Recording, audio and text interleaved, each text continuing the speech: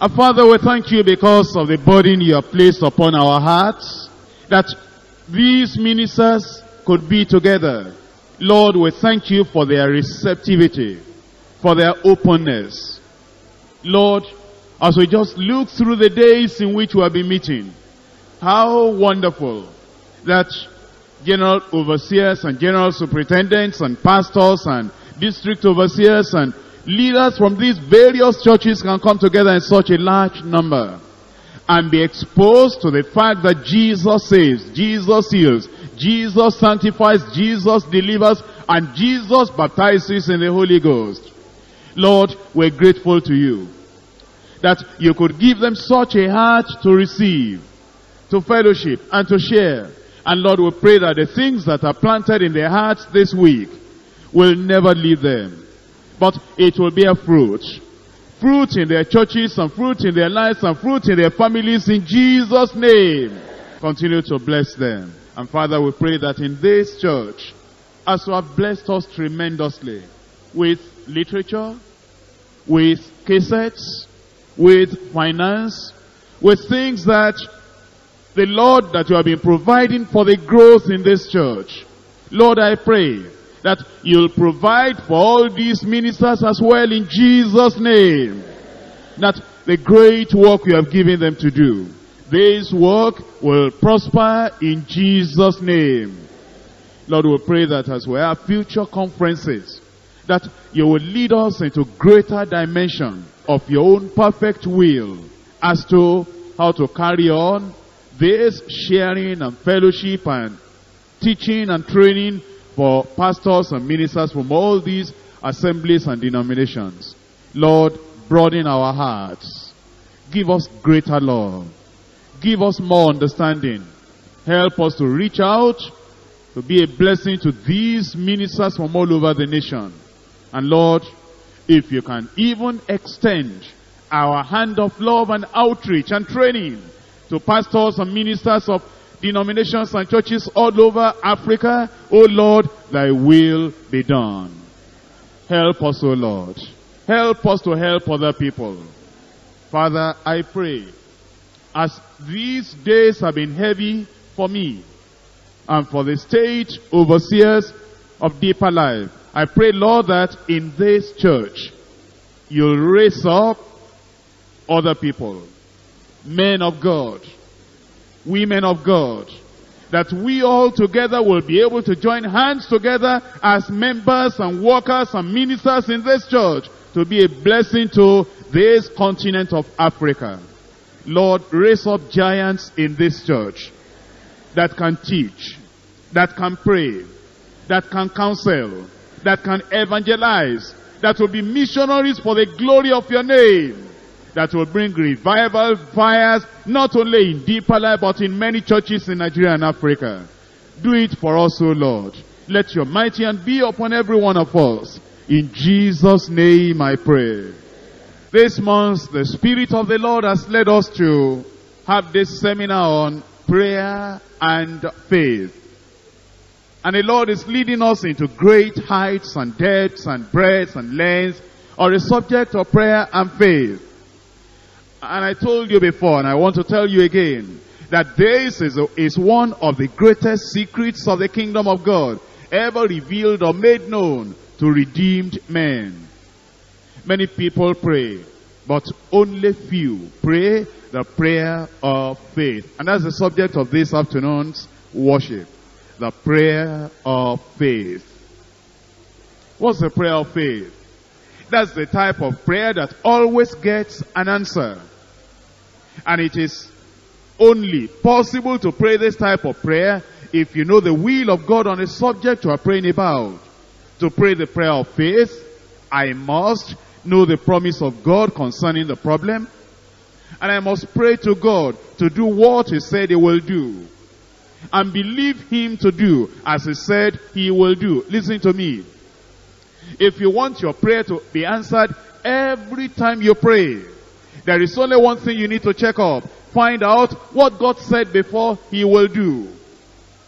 Find it out. That's what Abraham did.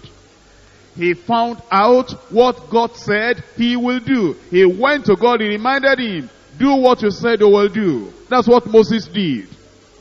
I will raise up families and children out of Abraham. He found out what God said he will do. He went to God and reminded him, do what you said you will do. That's what Joshua did. He found out that God had willed an inheritance of the land of, of promise unto the children of Israel. And he went back to God and reminded God uh, to do what he said he will do. That's what David did. He remembered the covenant that was given unto David. The Davidic covenant. And he went back to God and reminded him, do what you said you will do. That's what Daniel did. That the children of Israel, they were in the land of captivity. And 70 years were accomplished. And he found out from the prophecy of Jeremiah that you said after 70 years you are going to return the people from Babylon and they'll go back to their land. And he reminded God, do what you said you will do. That is what the apostles did. They remember the promises of Jesus Christ. And they went to God and said, do what you said you will do. Before you can pray the prayer of faith. All you need to do is find out what God said he will do before. Then go to God and remind him, Oh Lord, do what you said you will do. Second Samuel chapter 7. Look at it. Praying the prayer of faith. There is a solid demands. In Second Samuel chapter 7 and verse 25. Now, O Lord God, the word that thou hast spoken concerning thy servant and concerning his house, establish it forever and do as thou hast said. Brothers and sisters, if I am ignorant of what God said concerning me, concerning my house, concerning my ministry, concerning the church, I cannot pray the prayer of faith. Brothers and sisters, if you are ignorant of the promise of the Lord, of the word of the Lord concerning you, concerning your wife, concerning your husband, concerning your family, concerning your ministry, concerning our church, if you are ignorant on what God said he will do, you will not be able to pray the prayer of faith. How do I pray the prayer of faith? Find out what God said before that he will do. Then go to him and remind him, now, O Lord God, the word that thou hast spoken concerning thy servant, concerning me, concerning his house, concerning my house. Establish it forever and do as thou hast said. In Acts of the Apostles chapter 27 and in verse 25, Paul the apostle, how could he pray the prayer of faith? Oh, well, he knew what the Lord said he will do. And he took God up on that note, on that challenge. Do what you said you will do. And he now gave a testimony. He said, Wherefore, sirs, be of good cheer. For I believe God that it shall be, even as it was told me. That's how to pray the prayer of faith.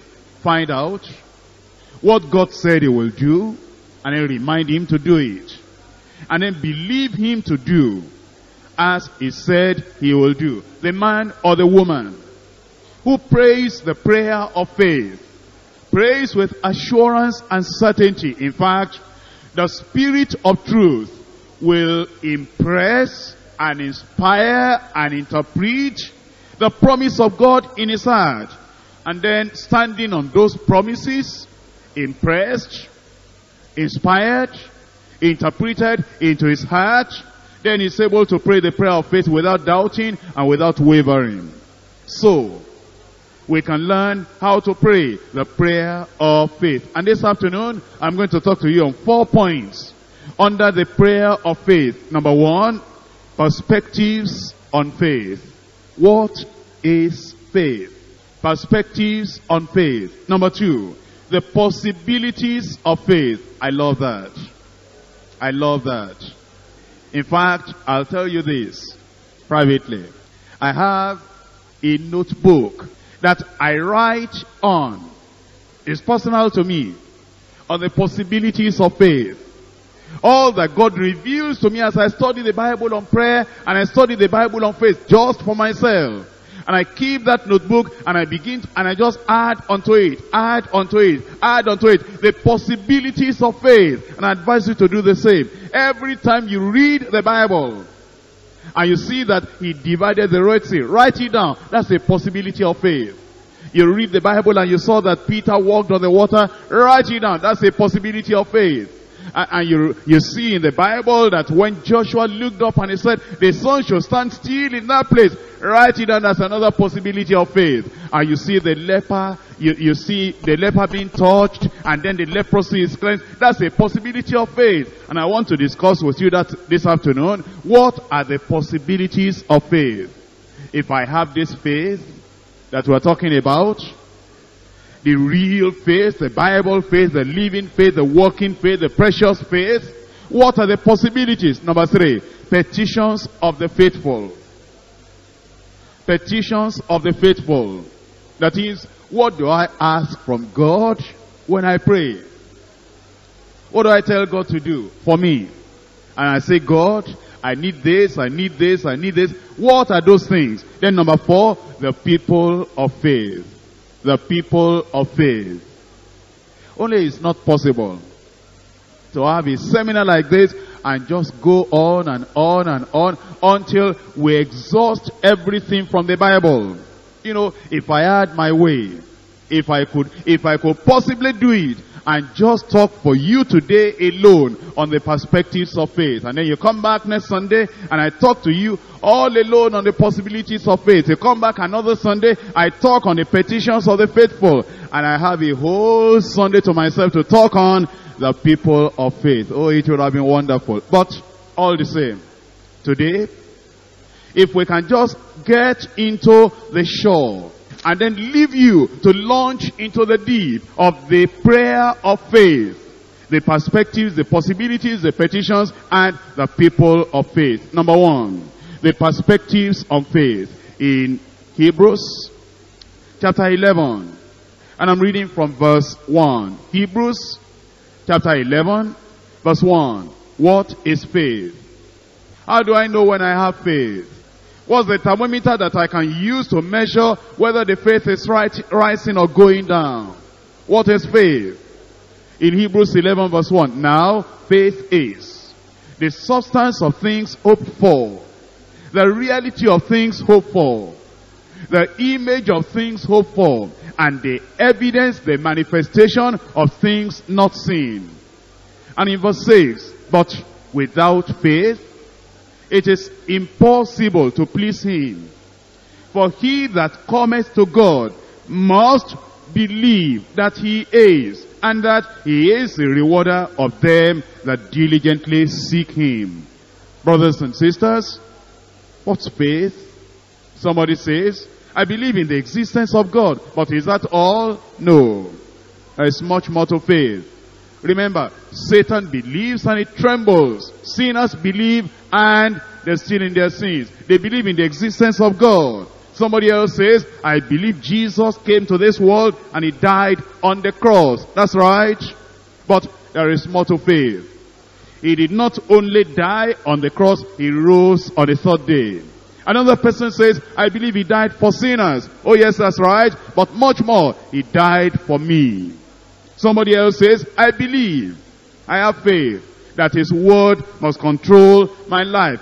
Much more, his blood must cleanse my heart. What is faith? Follow me. Number one, faith is believing that God will do what he says he will do, whatever the surrounding circumstances. Faith, think about Abraham, Think about the surrounding circumstances. He believed that God will do what he said he will do, no matter the circumstances. Think about Moses before Pharaoh. Think about Moses in Egypt. Think about Moses leading the children of Israel in the wilderness. What is faith? He believed that God will do what he says he will do, whatever the surrounding circumstances. Think of Elijah by the brook Cherith with no wife there, no child there, no friend there, no servant there, nobody to bring him food there. But he believed God will do what he says he will do, whatever the surrounding circumstances. And when the river dried up, he had faith. What is faith? Faith is believing that God will do what he says he will do, whatever the surrounding circumstances. And when you have that faith in you, that whatever your circumstances, whatever the situation in the family, whatever the handicap eh, surrounding you, you believe that God will do what he says he will do. My brother, my sister, that is faith. I read it to you already. When Paul the apostle, with the storm raging, with the boat or the ship being tossed to and fro, with the heavens being darkened, and with all the unbelievers in the place casting all their wares, all their property into the river, he said, Sirs, be of good cheer, for I believe God. It shall be even as it was told me. What is faith? Number one, it is believing that God will do what he says he will do, whatever the surrounding circumstances. Number two, faith is counting it done before I see the manifestation because God cannot lie. Faith is counting it done before I see the manifestation because God cannot lie. Listen to me. God came to Abraham in the company of two angels. And Abraham received him, received the company, and then made a little kid, one of the goats, and then prepared something for them. And before they left, they said, Abraham, call your, call your wife, Sarah. And when the wife came, the Lord said, by this time next year, you know that means one year. By this time next year, you will carry that baby. That means then, if the woman is to be pregnant for nine months, she wasn't pregnant immediately. Because by this time next year, that is one year. That means there will be three months before the pregnancy. And then nine months of the pregnancy, then you are by this time next year. Within those three months, faith is counting it done before I see the manifestation. Because God cannot lie. He said so. He will do it. I have not seen it. But even though the manifestation is not there yet, he said, this time next year, this very time next year, this very time next year. Because of that, I know that even though these three months are there for me to wait, these three months are there for me to just stand in the faith. I know that it will be done. Faith is counting it done before I see the manifestation because God cannot lie. Therefore, I call those things which be not as though they were. Romans chapter 4. Romans chapter 4. And in verse 17, as it is written, I have made thee a father of many nations, before whom he believed, even God who quickeneth the dead, and calleth those things which be not as though they were. That's faith. And in verse 19, being not weak in faith, he considered not his own body now dead, when he was about an hundred years old, neither yet the deadness of Sarah's womb. He staggered not at the promise of God through unbelief, but was strong in faith, giving glory to God, and being fully persuaded that what he had promised, he was able also to perform. Number three, what is faith? Faith is the belief in the sufficiency of God's word to solve all my problems. Faith is the belief in the sufficiency of God's word to solve all my problems. Spiritual problems, physical problems, personal, um, personal problems, family problems, financial problems, every problem. Faith is the belief in the sufficiency of God's word. What did the centurion say in Matthew chapter 8, verses 8 to 13? Speak the word only. That's faith. Believe in the sufficiency of God's word to solve all my problems. Speak the word only, and my servant shall be healed. Speak the word only, and my mountain shall be removed. Speak the word only, and the demon will be cast out. Speak the word only, and the oppression shall cease. Speak the word only, and the provision shall come. Speak the word only, and the sorrow and the sadness and the shame and the reproach shall flee away. Speak the word only, and all my problems are solved. What is faith? Believe in the sufficiency of God's word to solve all my problems. Number four, what is faith? Faith is complete trust and unshakable confidence in Christ's ability and God's power to do the impossible in my life. Faith is the complete trust. Complete trust. Unshakable confidence in Christ's ability and God's power to do the impossible in my life. Picture Mary and Martha wanting to meet Jesus Christ. Their brother Lazarus had died, but Jesus was coming. You know what Martha said? Martha said, Jesus, if you had been here, my brother will not have died. But even now, even now, I know that whatsoever you will ask from God, He will do it. What is that? Faith. That complete trust, unshakable confidence in Christ's ability and God's power to do the impossible in my life and in my family. In Matthew chapter 9. Matthew chapter 9. And I'm reading from verse 27. And when he was come into the house, the blind men came to him, and Jesus says unto them, Believe ye that I'm able to do this? Believe ye that I'm able to do this? Do you have unshakable confidence, absolute complete trust in my ability and God's power to do this impossible thing? And they answered and said, Yes, Lord. Then he touched their eyes, saying, According to your faith be it unto you. And their eyes were opened. What is faith? Number five. Faith is the blessed assurance that Jesus is mine. You sing it. Blessed assurance, Jesus is mine. That's faith. Faith is the blessed assurance that Jesus is mine. And all things that come through Jesus Christ, they are mine. What does that mean? All the promises of God, even heaven, and the inheritance of the saints, everything that comes through Calvary, they are mine because Jesus is mine. That is faith. And that means that they are mine now, and they are mine forever. They are mine whenever I need them. They are mine whenever I call, whenever I claim them. That is faith. In John chapter 14, verses 13 and 14. And whatsoever ye shall ask in my name. You see that? Because Jesus is mine, his name is mine. Because his name is mine, all that that name stands for will be mine.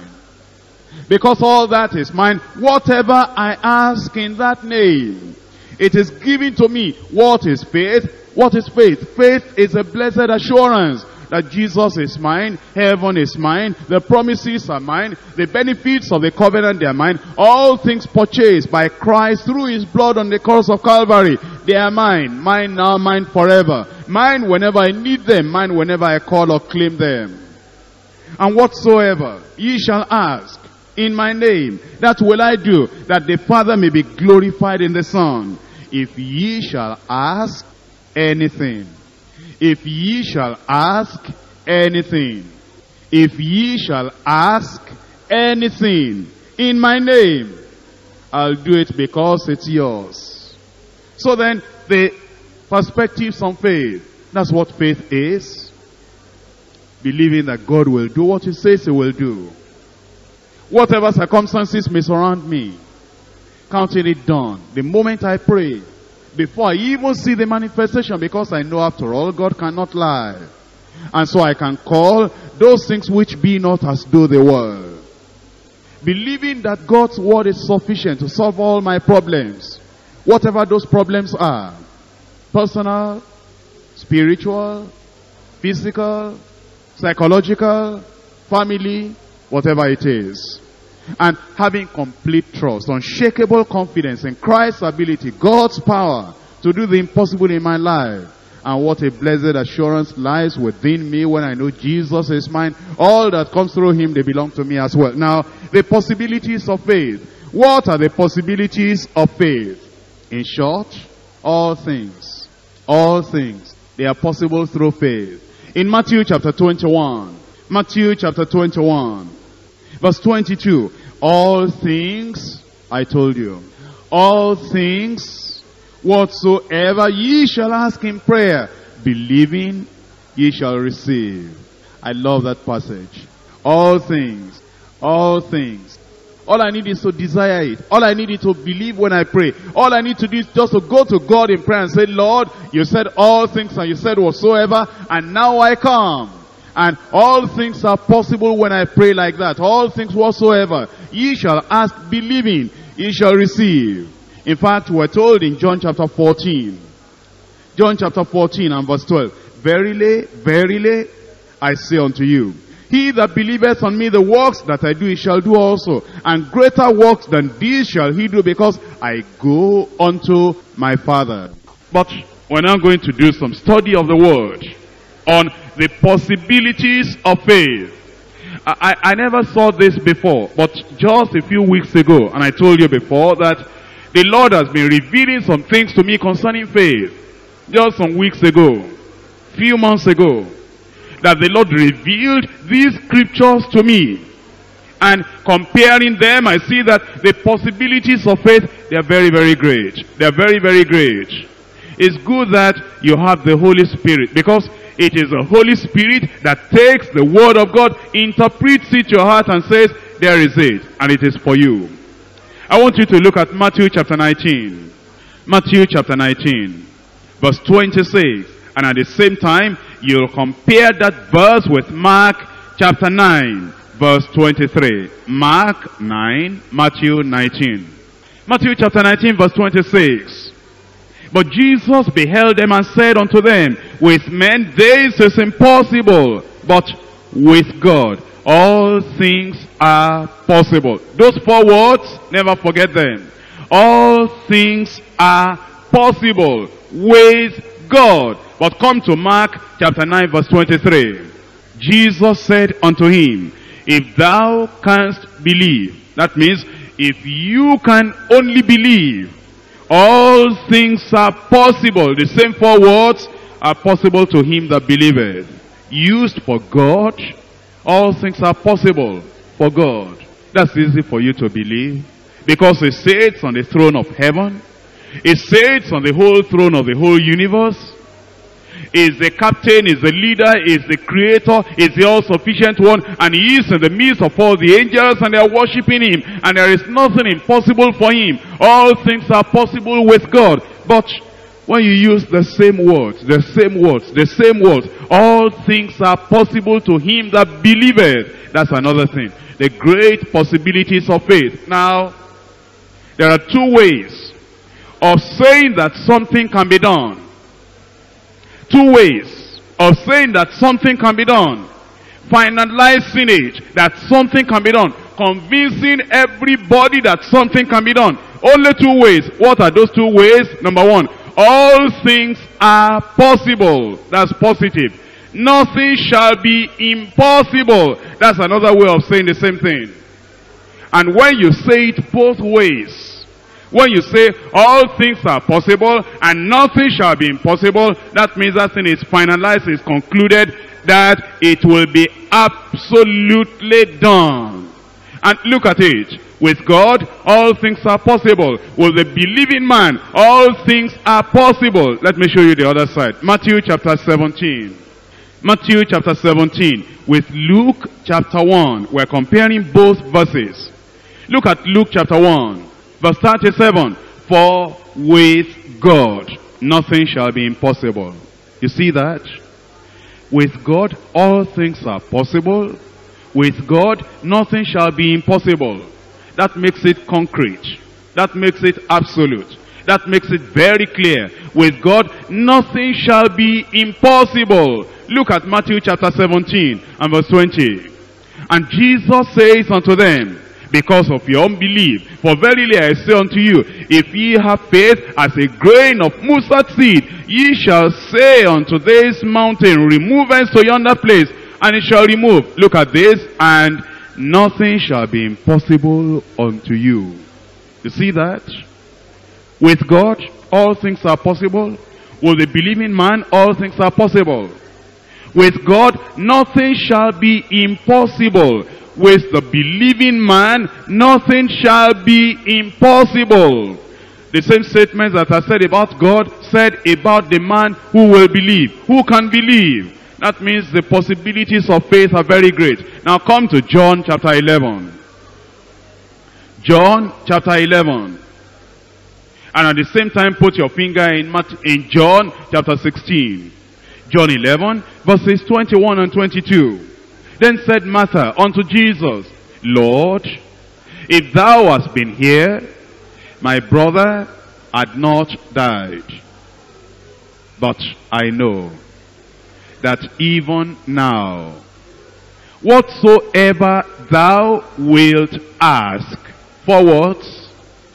Whatsoever thou wilt ask of God, God will give it thee. Whatsoever thou wilt ask, whatsoever ye shall ask, whatsoever you will ask. Just the same four words. Used for Jesus, the Son of God, the Christ, the Messiah, the one that was filled with the supernatural power of God. And he went about doing good, healing all that were oppressed of the devil. Come to John chapter 16 and verse 23 and look at the same four words.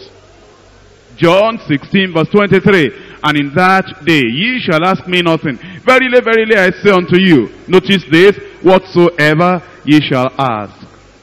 Whatsoever ye shall ask, the Father in my name, he will give it you. What does the Bible say? Out of the mouth of two or three witnesses, the truth shall be confirmed. One, all things are possible with God and the believing man. Two, Nothing shall be impossible with God and the believing man. Three, whatsoever ye shall ask, apply to Christ, apply to the believing man. All things are possible if you only believe. That means then, that the possibilities of faith, they are very, very great. Very, very great. Great are these possibilities of faith. It can save the soul. Faith can secure a place for you in heaven. Faith can sanctify and make the believer holy. Faith can heal the sick. Faith can deliver the oppressed. Faith can endue you with the Spirit's power. Faith can cast out devils. Faith can move mountains. Faith can calm the storm. Faith can raise the dead. Faith can supply all your needs. Faith can provide you all your heart's desires. In short, faith can repeat Christ's ministry on earth right now. Faith. It can duplicate the ministry of Jesus Christ on earth right now. Faith can produce everything that Jesus could produce and do when he was on the face of the earth. Yes, great are the possibilities of faith. Now, no time. But number three, the petitions of the faithful.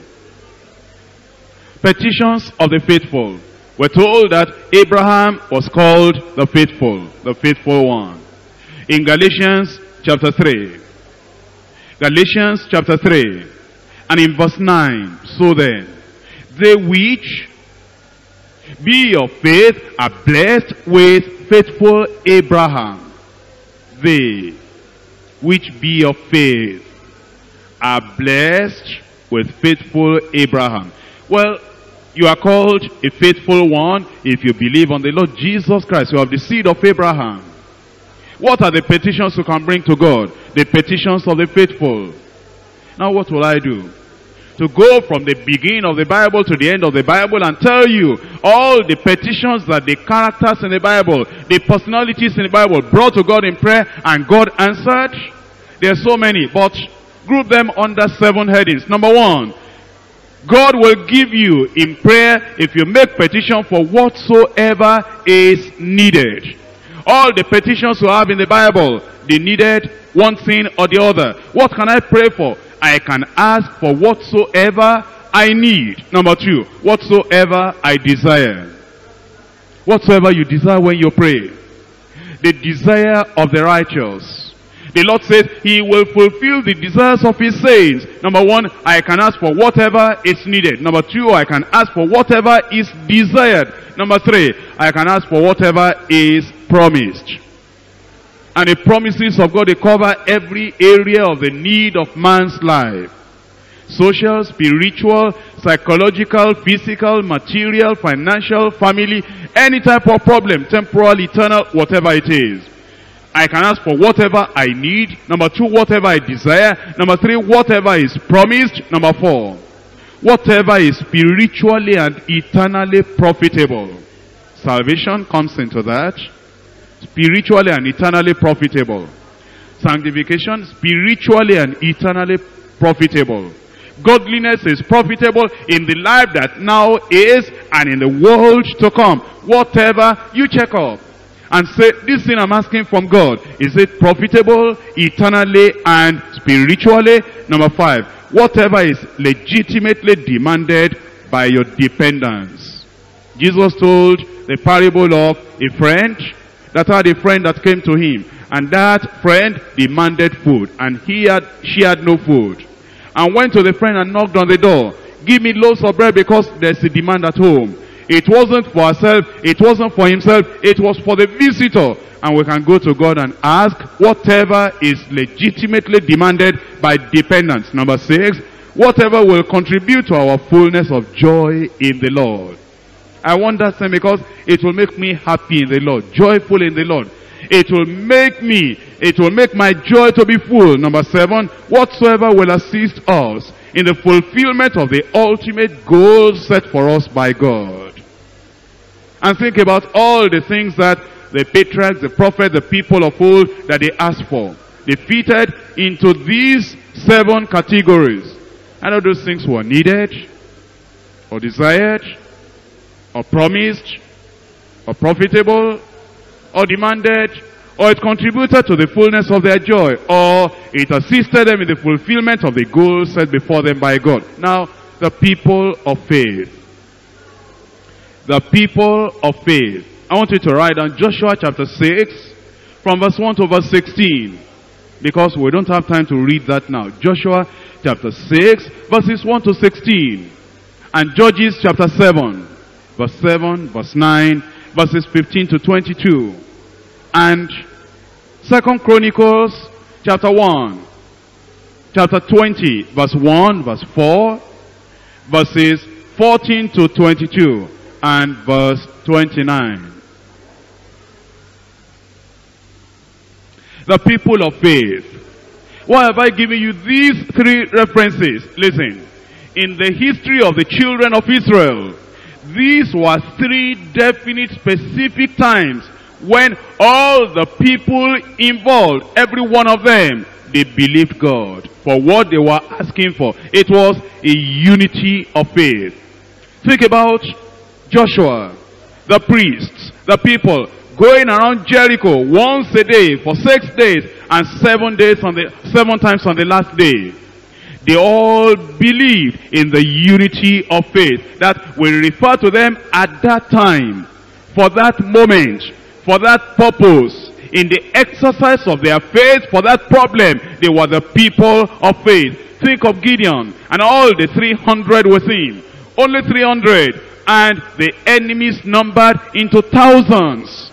But all the 300 without an exception. All the 300 they believed God in the unity of faith. At that time, they were the, they were the people of faith. Think of Jehoshaphat and Judah and, and uh, Jerusalem all together. They sought the face of the Lord. And then the Lord spoke by a prophet, by a man of God, that this battle is not yours, it belongs to the other. Everybody connected with that problem, everybody believed, and they were the people of faith. Come back to Joshua. And let's pick just that case. Joshua had faith in God. He believed God implicitly, without a shadow of doubt. The priests, Those were the next category of leaders. They believed God's word in Joshua's mouth. And then there was faith in the people, all the people. They followed confidently. They were sure of the final victory. Then there was faith without doubting throughout the seven days in all the camp. There was faith without wavering in the young and in the old. No one ever thought of defeat, not for a moment. And the women, all, all of the women, they had faith in God at that time for that problem. There was no comment of unbelief expressed to their husbands in the camp. No fear entertained in any family. All of them together, they were the people of faith. What happened? The walls came down flat. And if such a faith that is in the pastor, will be in our preachers, will be in all the coordinators, will be in all the zonal leaders, will be in all the area leaders, will be in all the workers, will be in all the members, and for once in our life, for once in our church, from now on till we see Jesus face to face, we become the people of faith, and we believe God to the letter, that he will do what he said he will do we will see the supernatural above what we have ever seen in the church. Now let me ask you, what will happen if all of us, the pastor, the preachers, the ministers, the zonal leaders, the coordinators, everyone, the workers, the members, if all of us, the people in this church, men and women, if we manifested lively, dynamic, overcoming faith, what will happen? Number one, there will be no one feeble among us. That's what Psalm 105 verse 37 says. No one feeble among us. Number two, no man shall be able to stand before us in any state, in any city, in any village. That's Joshua chapter 1 verse 5. Number 3. None of us shall lack any good thing. In Luke chapter 22 verse 35, Jesus asked his disciples and he said, When I sent you out with no pause but with faith, when I sent you out with no script but with faith in your heart, did you lack anything? And they said nothing. And if we will become the people of faith, none of us shall lack any good thing. What will happen if we became the people of faith? Number four, the church shall do exploits in every place in this generation. Daniel 11.32. Number five, the days of Christ at his first coming will be repeated again before his return. A look will heal the sick. A touch will cleanse the leper. A word will drive out the devil. An handkerchief will deliver the oppressed. A shadow will heal the most chronic and deadly of all diseases and cast out powerful demons. That's what Jesus said in John chapter 14 verse 12. That if we all became the people of faith, that we will see the days of Christ come back again. Now, if we became the people of faith, as I'm talking about, what will happen? Pharaohs will tremble again. Nebuchadnezzar will be astonished. Herods of today will fear, and councils of today will wonder in amazement, and sinners will be saved in multitudes, and saints will be revived with a perpetual Pentecostal fire burning in every heart. Isaiah said in Isaiah chapter 8 verse 18, Behold, I and the children whom you have given me were for wonders and signs in Israel. What will happen? If we all became the people of faith, this place, this site, this church will become an upper room. Lagos will become like Jerusalem on the day of Pentecost. And once again, we will, we will experience the year of Jubilee. And a decade of release will begin for the people of God.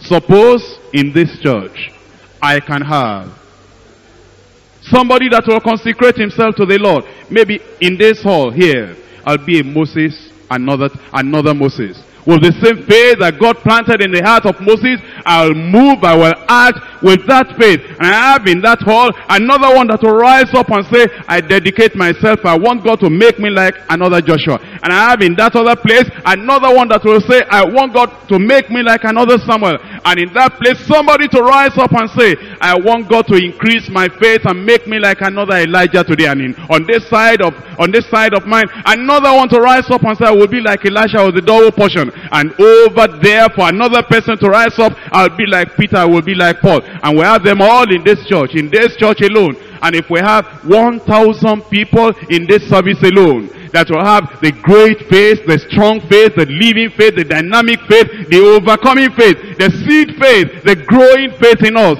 And we say now we're going to dedicate ourselves until the Lord will saturate our hearts with his promises. And the Lord will develop in us a great, great, great faith. What do you think will happen? We'll move the hand of God like Moses moved the hand of God. We'll move the hand of God like Joshua, like like David, like Daniel, like Elijah, like Elisha, move the hand of God. And I'm asking you today, who is willing to consecrate himself to the Lord? And will say, oh Lord, use me in prayer like you used Moses. Use me in prayer like you used uh, Joshua. Use me in prayer and in the supernatural like you used Elijah and Elisha. Oh Lord, use me like you used Daniel that he stood upon the promises of God and the whole nation was delivered from captivity from Babylon. God can do it again. And if we rise up in faith and say, Lord, plant this faith in us, we'll conquer Africa for Christ. Let's rise up and tell the Lord that we consecrate ourselves. We consecrate ourselves. We're going to discover the faith in the Word of God. The faith in the Word of God that God will plant it in us, exercise it through us, that mighty things will be done. The supernatural become common in this church more than ever before. Let's become the people of faith.